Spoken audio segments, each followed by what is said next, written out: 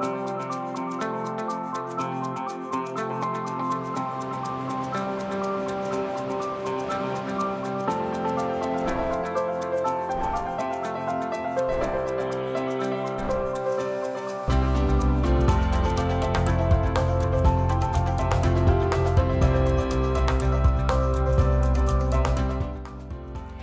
afternoon. I'm Judy Simpson. Thanks for joining us for this 4th of July edition of Across the Fence. On this day, we celebrate phrases like all men are created equal and life, liberty, and the pursuit of happiness.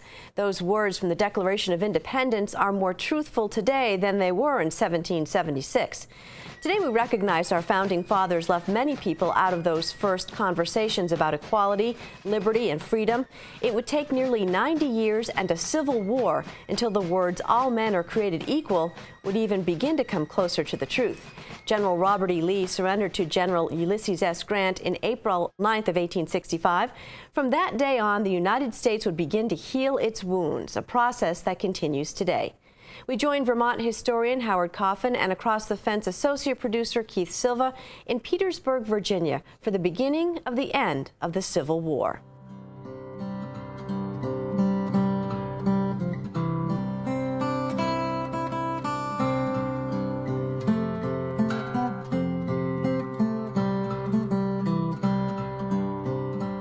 Very early in the Civil War, the Confederates built miles of earthworks to defend the city of Petersburg, 30 miles south of Richmond. Why Petersburg? It was vital to the Confederate capital of Richmond. Five railroads came into Petersburg and they fed supplies up to Richmond. If you're going to defend the Confederate capital, you have to defend Petersburg. This Confederate line, the original one, known as the Dimmock Line, was manned by only about 2,500 men in June of 1864. And after the unsuccessful fighting up at Cold Harbor, Ulysses Grant ordered a friend of his, General Baldy Smith, to take some 30,000 men and bust in down on Petersburg and capture the city. Smith got down here with his men all right, and there weren't many Confederate defenders. But when Smith saw these fortifications, they reminded him of the fortifications up at Cold Harbor, where so many thousands of Union soldiers had been killed and wounded in desperate attacks that never broke through. And so Smith got very cautious, attacked very tentatively, and by the time he was ready to throw a hammer blow, Lee had rushed soldiers down here and Petersburg could no longer be taken. Thus began a nine-month siege of Petersburg and the lines would grow and grow in length until they reached nearly 50 miles.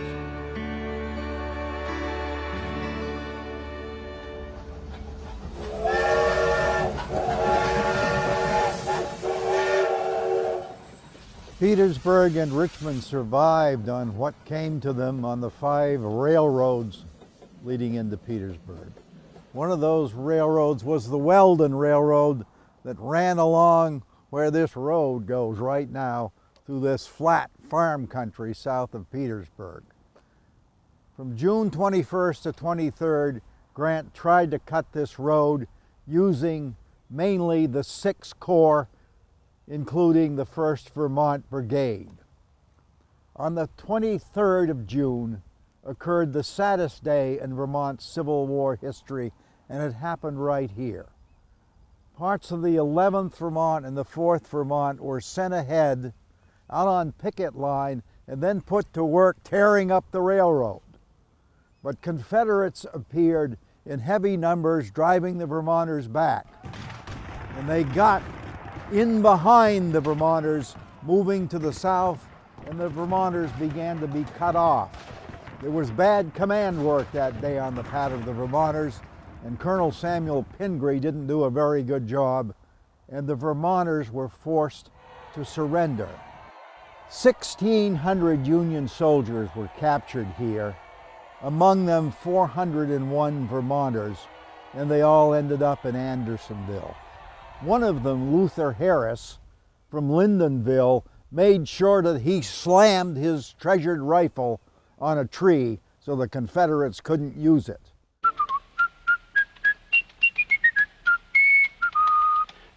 If I had been standing in this field during the siege of Petersburg in 1864 1865, I would have been riddled with bullets instantly.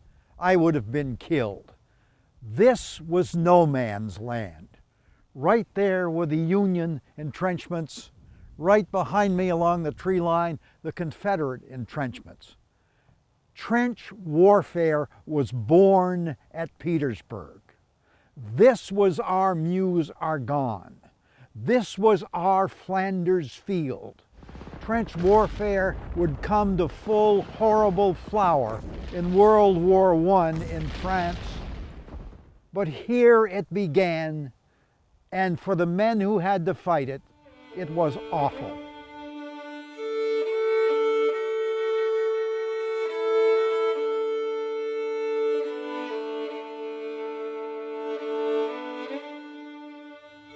The long siege of Petersburg had barely begun when some Pennsylvania soldiers who had previously been coal miners came up with an idea.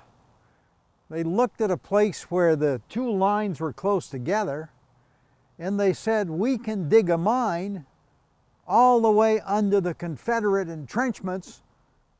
We can pack the end of it with gunpowder and blow a heck of a hole in those Confederate defenses. The proposal went all the way to Ulysses Grant, and he liked it, and they started digging right here. Here's the mine entrance, just 500 feet from the Confederate lines. It took a little over a month to finish the tunnel, pack it with powder, and then the morning of July 30th, the most famous moment of the Siege of Petersburg occurs. They touch off all that powder. The Union soldiers watching from way across the field, waiting to make their attacks, saw an astonishing sight. They heard a tremendous rumble and a roar, and then fire came from the ground, and then the earth rose a hundred feet and more. And they saw men rising on this cloud of dust, and cannons and muskets a tremendous explosion, and then they were ordered forward to cross a half a mile wide field and attack here at the crater and exploit a breakthrough in the Confederate lines. Black troops were given the honor of leading this assault and they bravely charged right down into the crater and getting down in here they found they couldn't get out. The walls were muddy and slippery, and they did their best to get up to the rim of the crater and fight, but suddenly Confederate reinforcements were upon them, firing down into the crater, and a long battle went on here, but it was hopeless, and the crater became an abject failure. The last Vermont regiment to enlist was the 17th Regiment and they never did reach full strength. And they were assigned to Ambrose Burnside's 9th Corps. And it was the 9th Corps that made the attack on the crater. The 17th Vermont came rolling in here, coming up after, after the explosion, and by that time the tide had turned toward the Confederates.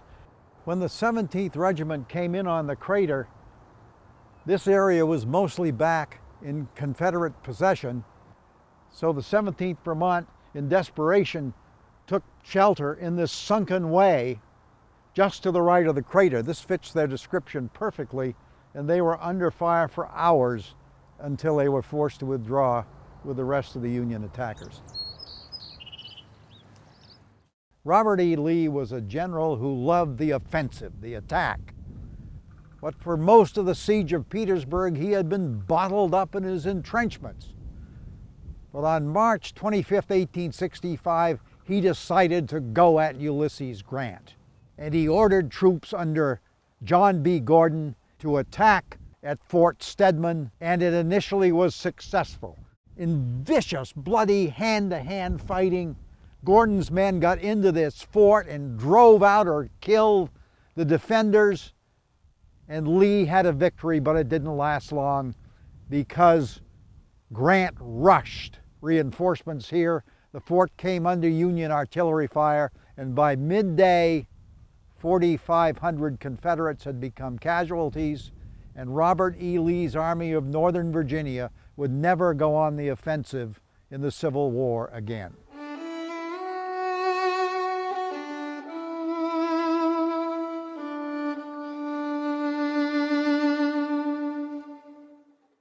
After the Fort Stedman battle on the 25th of March, there was a counterattack in this area.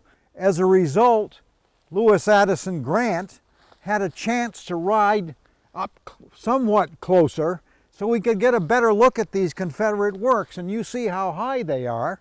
Well, as we walk down along these works, you can see that they get lower and lower as they come down to a little swamp, which is where a brook flows through.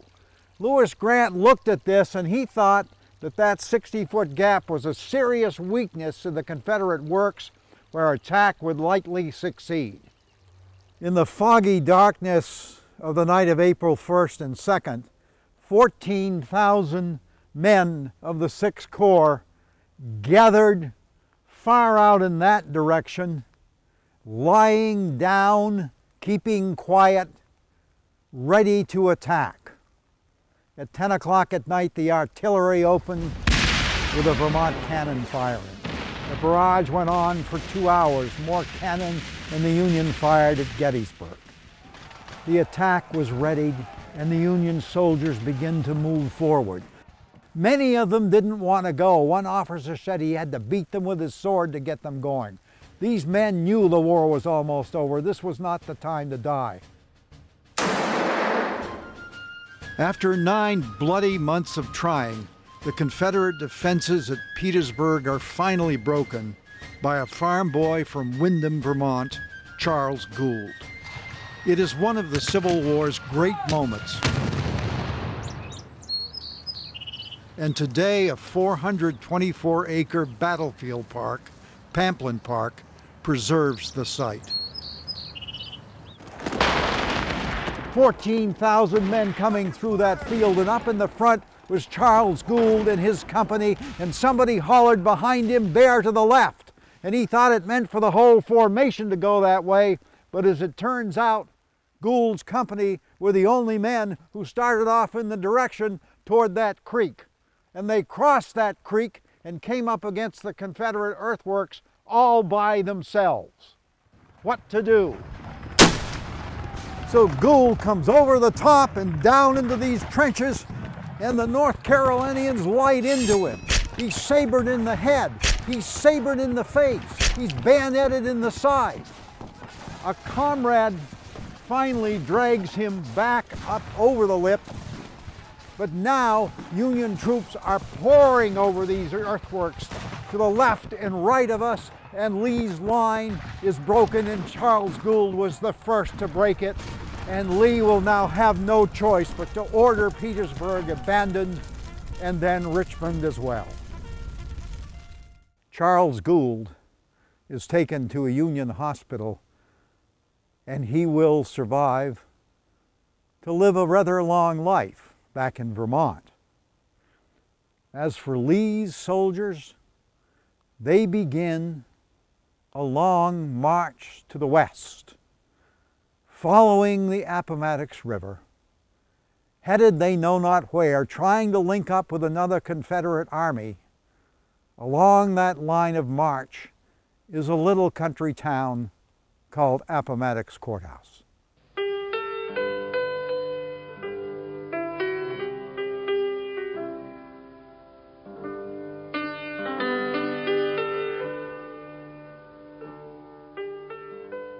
Robert E. Lee's once great Army of Northern Virginia was down to 50,000 men when it left Petersburg. It moved west on country roads through this gentle Virginia countryside, hoping to meet up with Joseph Johnston's army coming up from North Carolina. The first battle of Lee's retreat west happened here at Namozine Church. There was a brisk fight here, the church miraculously undamaged, and then Lee kept moving to the west. A meeting took place here after the battle. William Wells was here. George Armstrong Custer, commanding his division, came up. And then Phil Sheridan himself was here, commanding all the Union cavalry. They met briefly, and Sheridan told them to ride hard. Let's cut off Lee's retreat. This is the village green in Amelia Courthouse, Virginia, a railroad town, as you can hear. This was an important place in Lee's retreat plans. At the railroad tracks, there were to be supply trains. His men were starving. But they had to wait here a day because the trains were late. And by the time the trains arrived and Lee fed his men, the Union infantry, not just the cavalry, was right on his heels. Lee's retreat continued until April 6, when part of his army was cut off just after it had crossed Little Sailor's Creek. And they'd moved up onto that high ground that you can see. But they were cut off by Sheridan's cavalry and had to make a stand on that hill. Up into this area came the big Six Corps of the Army of the Potomac that included the Vermont Brigade. The Vermont Brigade went into line of battle around this house, but did not fight that day, although the 2nd Vermont Regiment advanced a ways. The Vermonters who did fight that day, serving under General Truex, the 10th Vermont Regiment. And the 10th Vermont advanced behind us down into that valley and attacked up that far hill. The results were disastrous for Robert E. Lee. On they came under fire from the Confederates on the heights above. They waded this creek, Little Sailor's Creek, and surged uphill. Later in the day, the 2nd Vermont Regiment would fire a few shots, exchanging fire with pickets further down the creek. But this was the last infantry action of the Civil War for the Vermonters. The great history of Vermont infantry in the Civil War that included the fighting at Gettysburg and Lee's Mill, the Wilderness, Spotsylvania, Cedar Creek, Winchester, and of course Petersburg, came to an end here. The Vermonters didn't know it that day, April 6, but their fighting as foot soldiers was at an end.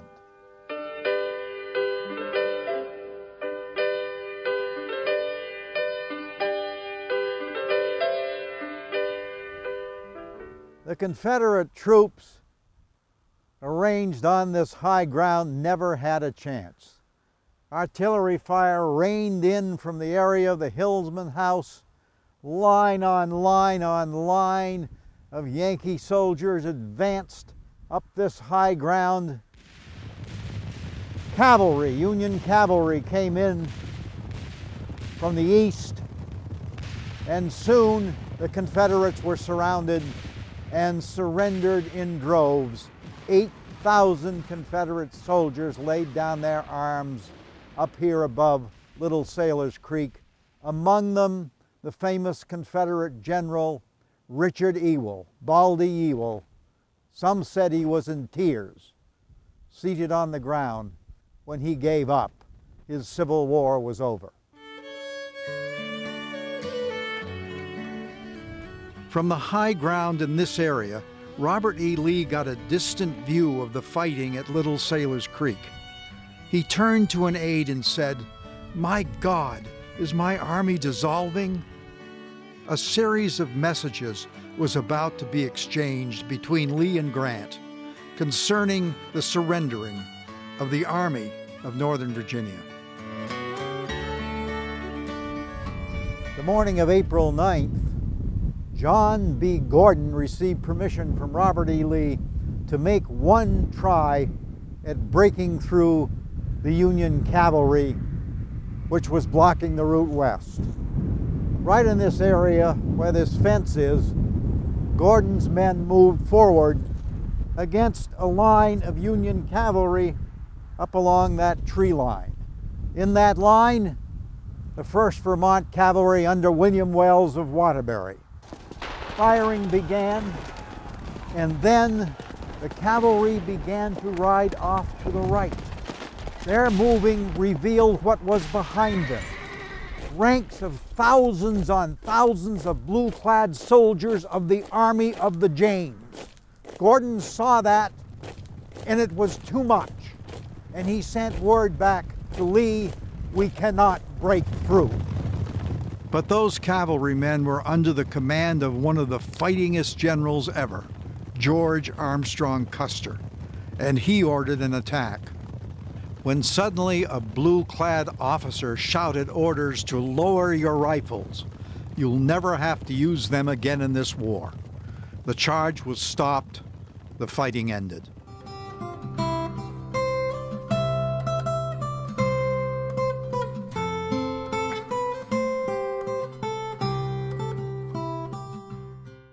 A couple of miles short of Appomattox Courthouse, Lee's ride to the west ended. He found out that the way was blocked up ahead, and so he pitched his headquarters tent right here. Spent a rather quiet night of April 8th and 9th. In the morning, General Edward Porter Alexander came to him with a suggestion that maybe he should order his men to take to the hills and wage guerrilla warfare.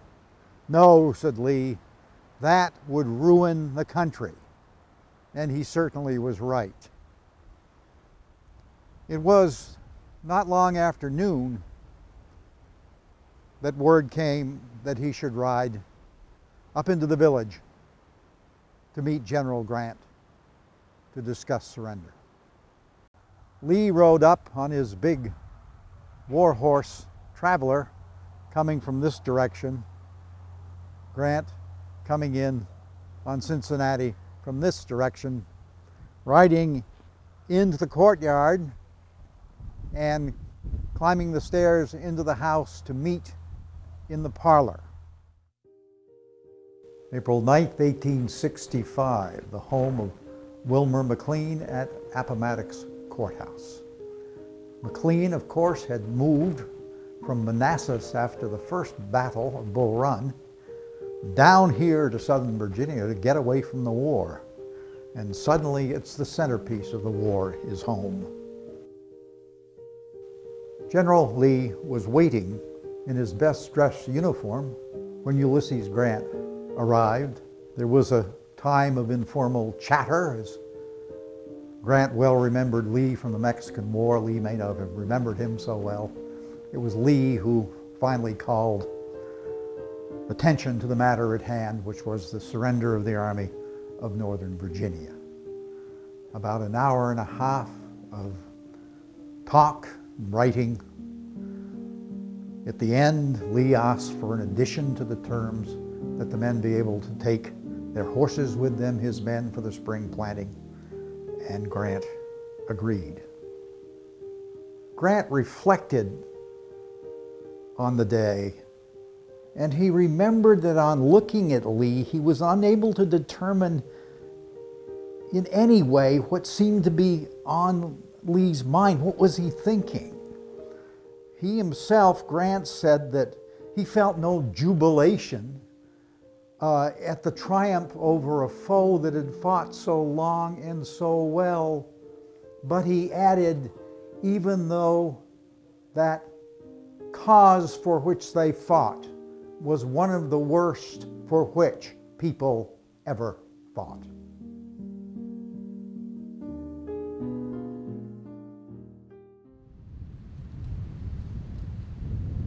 This meandering farmland stream, believe it or not, is the Appomattox River, which is about a half a mile wide at Petersburg. Lee's retreat had roughly followed the course of this river uh, his chances dwindling as the stream as he came a hundred and more miles to the west. It was along this river and in these surrounding fields that the Army of Northern Virginia made its last encampment and stayed here three days after the surrender. Why? Because on the 12th of April they were to march up into the village and surrender their arms to the Union Army led then by Joshua Lawrence Chamberlain, an honor given to him for his mighty war record. Robert E. Lee left right after the surrender. He couldn't face seeing the arms laid down. On April 12th, 25,000 Confederate soldiers marched up this road, the Richmond Lynchburg Stage Road, up to the village to surrender their arms to the Union. On each side of the road were thousands of Union soldiers under the command of Joshua Lawrence Chamberlain. Chamberlain wrote later, the dusky swarms forge forward into gray columns of march. On they come with the old swinging rout step and swaying battle flags. On our part, not a sound of trumpet nor roll of drums, but an awed stillness, rather, and breath holding as if it were the passing of the dead.